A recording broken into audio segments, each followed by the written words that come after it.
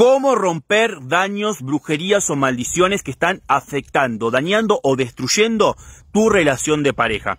Todo venía bien, pero de pronto se alejó. De pronto, ruptura de pareja, separación.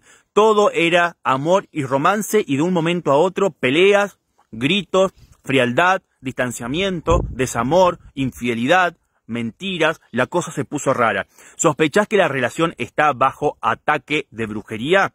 Vamos a absorber todo ese mal y lo vamos a desterrar, lo vamos a expulsar para limpiar y purificar tu energía, la energía de tu pareja y mejorar la convivencia, el vínculo al 100%. El mejor momento para hacerlo un domingo o un lunes temprano por la mañana. Vas a colocar debajo de la cama donde duermen ambos o donde dormían ambos, si se han separado, un plato en el cual habrás colocado un limón grande, un limón fresco, preferentemente un limón verde, sobre el cual habrás hecho un tajo en forma de X, no de cruz, un tajo en forma de X.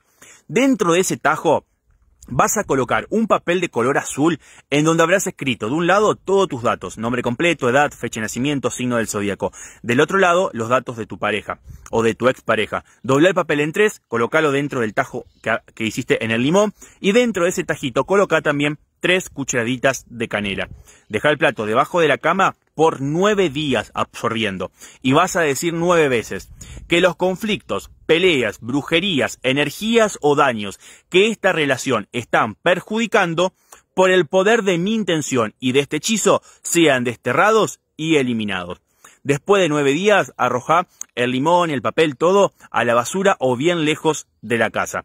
Y te aseguro que va a cambiar al 100% la relación de pareja. Si hubo un quiebre en la relación o una separación, eh, habrá un reencuentro, van a volver a hablar, lo van a charlar y van a poder darse otra oportunidad. Si pasado ese tiempo ves que tu pareja es muy dura o que el trabajo de pronto es muy fuerte, podés repetir el proceso durante tres semanas consecutivas.